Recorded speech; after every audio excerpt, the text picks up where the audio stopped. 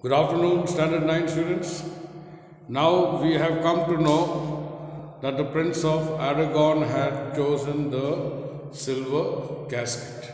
He feels that he is the most deserving candidate, fit enough to marry Portia.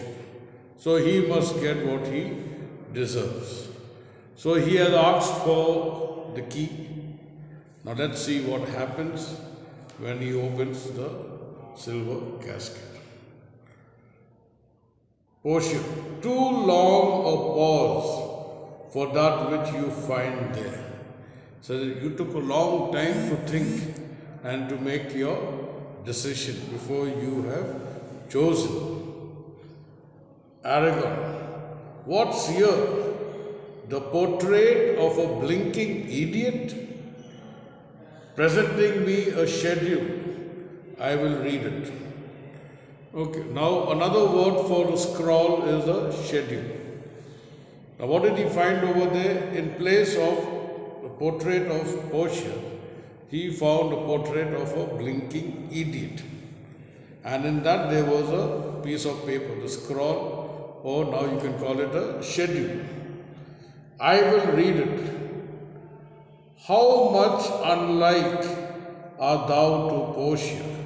Now he is thinking, what is my worth? I wanted to, I thought I deserve Portia.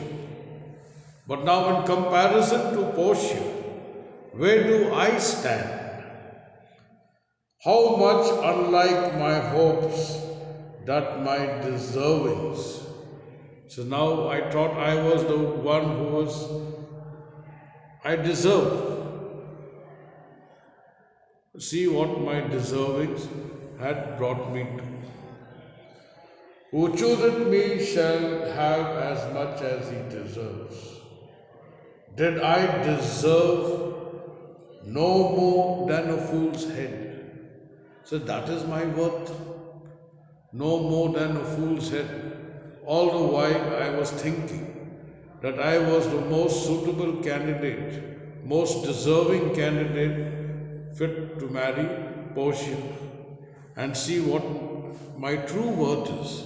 Is it just like a idiot? A fool's head. Is that my price? Is that my worth? And my deserts no better. What kind of a choice do I have? So all this while, he was having a very high opinion about himself. He felt that he was the most deserving. He reasoned it out also very well. Only the deserving need to hold the title or the crown. And that should not be acquired by foul means. After reasoning out, then he realized what was his worth in comparison to Portia. Just a stupid fool, a blinking idiot. Then Portia passes the comment to offend and judge are distinct offices and of opposed natures. He says, now you cannot be the man who to hurt somebody and then you be the judge and then, and then you give the same judgment. So to offend and to judge, they are two different aspects and they are both are of opposite nature. Because when you offend something, then the judgment will be to penalize you, to punish you. So, now what she meant was your reasoning and your nature, they did not blend at all.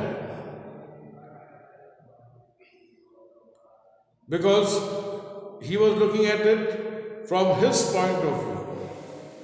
Okay, he made the same mistake which the Prince of Morocco had made regarding the leaden casket.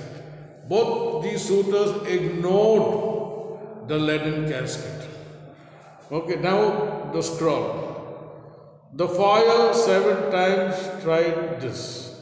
Means to make silver shine or to make silver pure, it has to go through uh, the process through the fire seven times.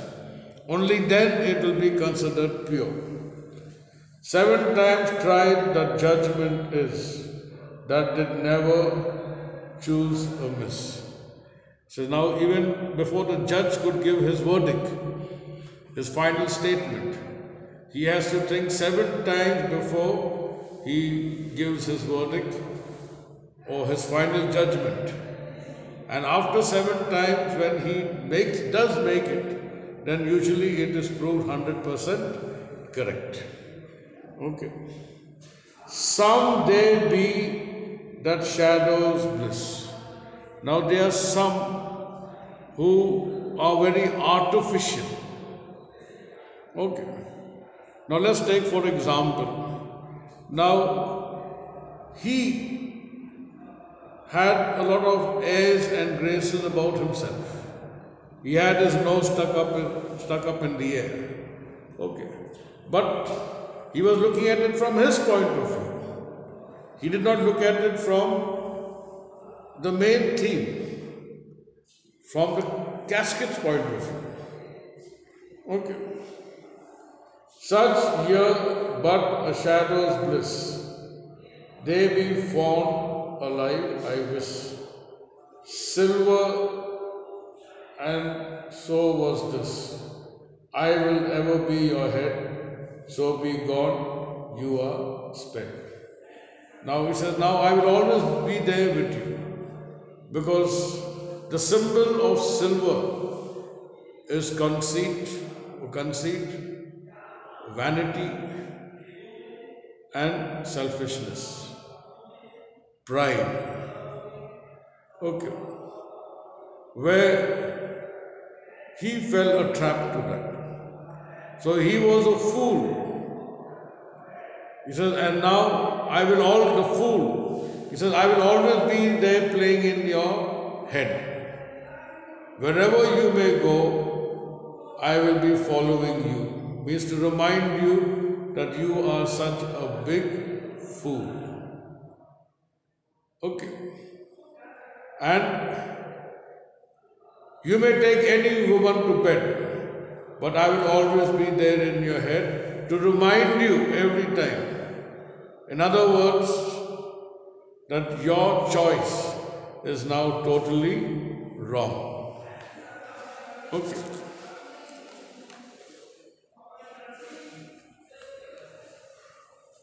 Still more fool I shall appear by the time I linger here. So as long as I remain here for a longer time, I will still be made fun of. I will be, still be considered a fool. With one fool's head I came to woo, but I go away with two. Okay, so with one fool's head, all the way I took the trouble to come to marry somebody for whom I am not deserving. And now I have to go back with two heads. In other words, one for making a wrong decision, and the other one is for all the pain taken for no reason. Sweet adieu, I'll keep my oath, patiently to bear my rod. So, anyway, he says goodbye. Adieu means goodbye. He says, and I will curse myself for making such a big blunder or mistake. I will regret my decision of first coming in the first place to marry you and then to make another wrong decision by choosing the wrong casket. And that is the way, way it says I go back with two foolish heads, means foolish decisions. Okay. Portia, thou had the candle sing the mott. So here goes another stupid mott burning in the candlelight. That means there goes another person who's going to remain a bachelor throughout his life. So she compares his decision to the decision made by that moth who gets attracted towards that candle light and starts dancing around the flames, failing for which once it gets tired, the, it gets burnt, it dies. So that is a stupid decision made by that moth to get attracted towards that flame and then burn itself. Oh, these deliberate fools, when they do choose, they have the wisdom by the wit to lose. Mean now she is passing a comment. Oh, these deliberate fools. They think themselves to be extra smart or too smart, or maybe overconfident. And that is how their wisdom or their wit encourages them to make wrong decisions. Sometimes when you think over and above about your own self, then you are sure to make wrong decisions or perform wrong actions. Nerissa. The ancient saying is no heresy. Hanging and wiving goes by destiny. So Nerissa says, look, the ancient saying, to get married, death and marriage, these are not made by man. It is already made by God. Okay. We cannot make that decision as to whom we are going to marry and when we are going to die. So our death and marriages are actually made in heaven. Okay. God makes that decision, not us. So it is not in his luck to marry you, so he has chosen the wrong casket. Portia, come, draw the curtain, Nerissa. Okay. Now enter the servant. Servant, where is my lady? He's very excited. And he forgot to use the correct salutation. So, where is my lady? Portia, yeah, what would my lord? As if she is answering her husband. Because she was in a good mood, she may perhaps want the Prince of Aragon to choose the right basket. So she was extra excited. So even when the servant says, Where is my lady? Actually, he's supposed to say, Where is madam or where is the mistress?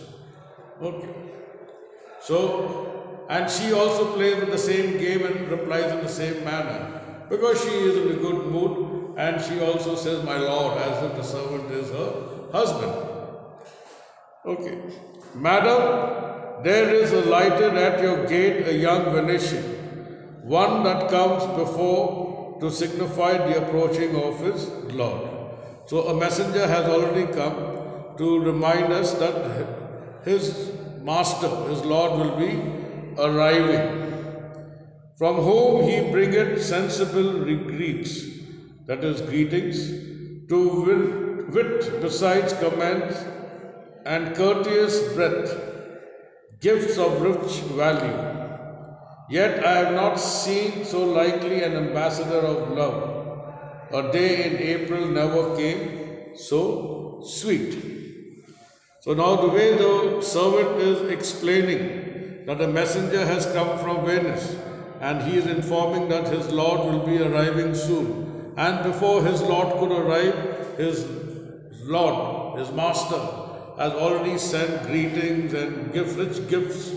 And the servant is very courteous the way he is moving around. Says, I never seen such a great ambassador of love. Okay. So, which proves that the last one, a day in April, never came so sweet. Now, it is a belief that whatever weather conditions we experience in the month of April gives us a hint as to what kind of climate we are expecting or weather condition we are expecting in the summer months. To show how costly summer was at hand.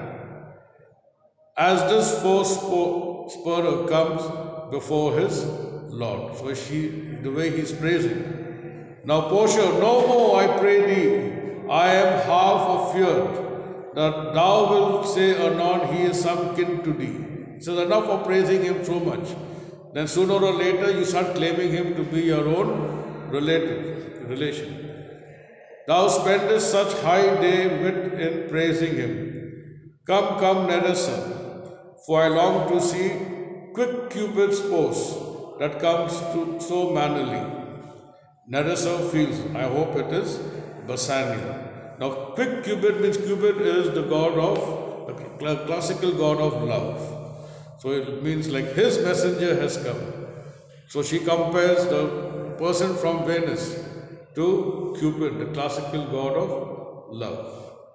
Okay, and today you will, oh, not today, tomorrow you will be having your class test from Act 2, Scene 9. Thank you.